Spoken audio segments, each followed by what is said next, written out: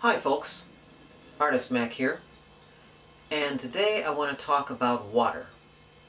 More to the point, how the City of Chicago bills for water now, and how it would like to for everybody.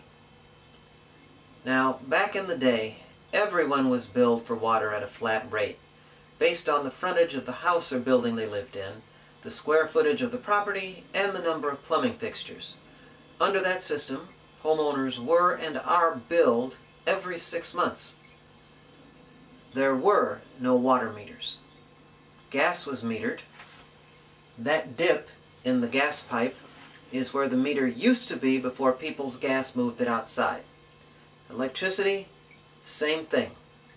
This meter's been here since the house was built in 1956. Water, always flat rate and unmetered.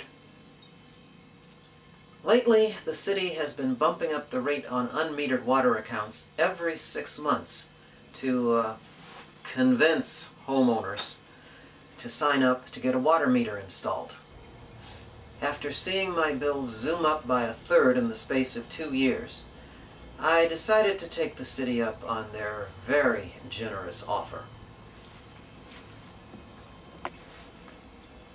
To their credit, the Water Department makes it very easy to sign up online at www.metersave.org and the workers came approximately when they said they would come. I had a 7.30 a.m. appointment on July 22nd and they came about a quarter after 8. But they were finished in about 45 minutes. They did a very professional installation and now that I have a meter, I'll only be billed for the water I use. And every two months instead of every six months under the flat rate system. I was ready to take the plunge last year, but I made the mistake of asking only one person about her experience. Oh no! Don't get one of those! My bill went way, way up! This time around, I went to everyblock.com's Bridgeport and Canaryville section and asked about people's experiences. Most people had seen their bills go down, and one woman who owns a storefront building with four apartments above and in back is paying 270 every two months, and that's total for the four units and the storefront. I mean, with a three-bedroom townhouse with one bathroom, my bill shouldn't even be close to that, especially since the water department only bills, uh, it's like a few dollars per every thousand gallons used. I've used almost 60 gallons in the four days since I shot this video of the meter right after the install. That little red star-shaped dial is your canary in the coal mine. It'll naturally spin as you're using water. If it spins any other time, you have a leaky faucet or toilet somewhere in your house. And if ignorance is bliss for you, you can close the cover and water the lawn. Oh, one other thing. When you get the meter, they give you the choice of an outside rain barrel, an outside water saver kit for your hoses and your sprinklers, or the one that I got, an inside water saver kit. And let me just get it here and I'll show you what's in it.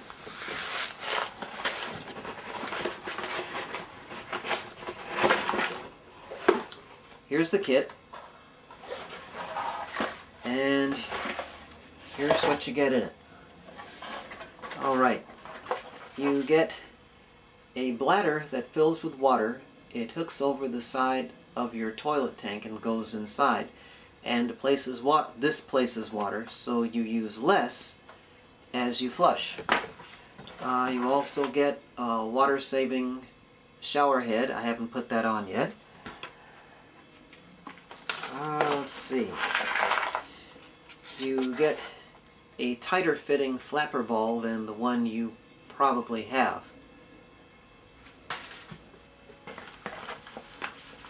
Oh, instructions. And they give you a couple of faucet aerators, you know, for your bathrooms.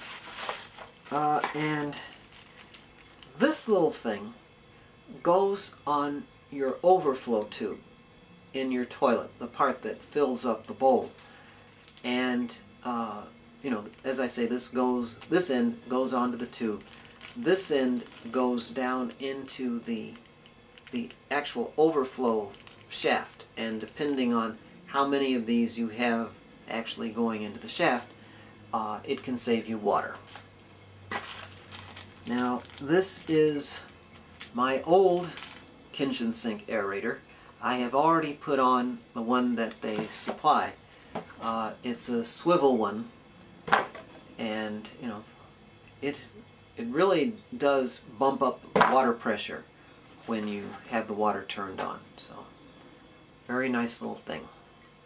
Oh, and attached to the meter outside is a transponder so uh, the water department can read your meter and they know, you know, exactly how much you've used.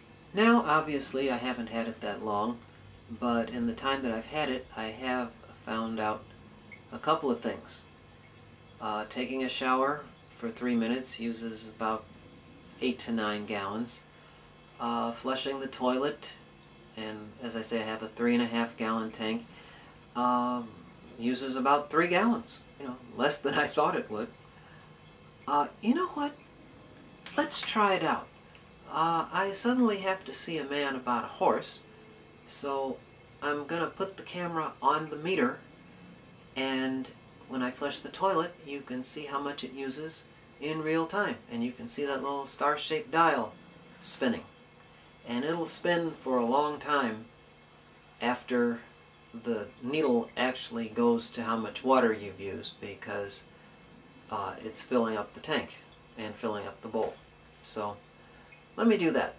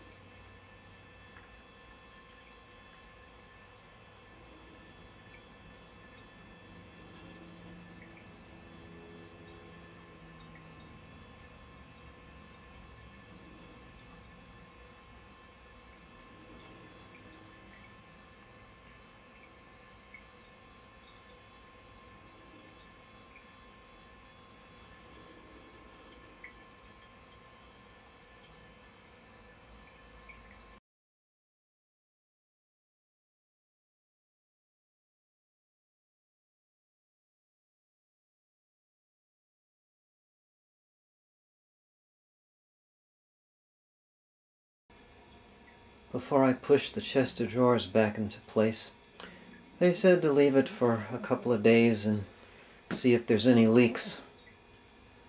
Until then, this is my way back out to the kitchen. Boy, it's a good thing I never let myself get fat.